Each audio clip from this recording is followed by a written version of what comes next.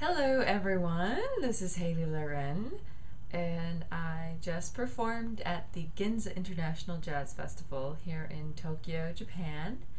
Um, earlier tonight, I did two shows one at 3 p.m., one at 6 p.m. at Yamano Music Store, and um, it was a lot of fun.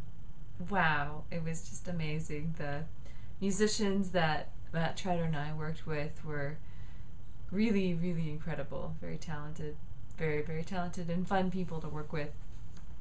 And they were Ken Ota on the saxophone, um, Go Shimada on bass, and Kar- Karuta on the drums. And I could have honestly asked for for a better group to work with.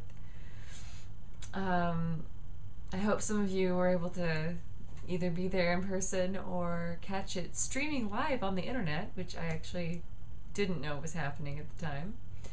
Um, but we'll see if uh, if there's some video to post later on for those of you who missed it.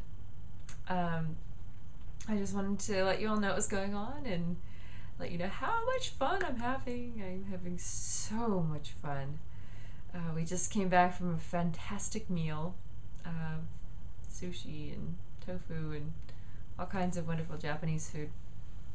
And um, tomorrow is a full day of promotion and interviews, um, so I gotta get to bed.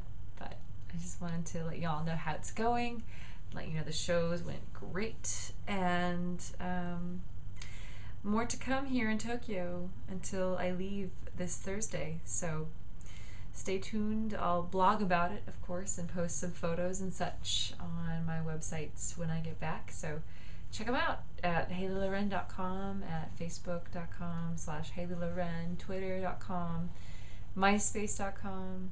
Um, you know where to find me. I hope to see you soon and have a wonderful week. Bye.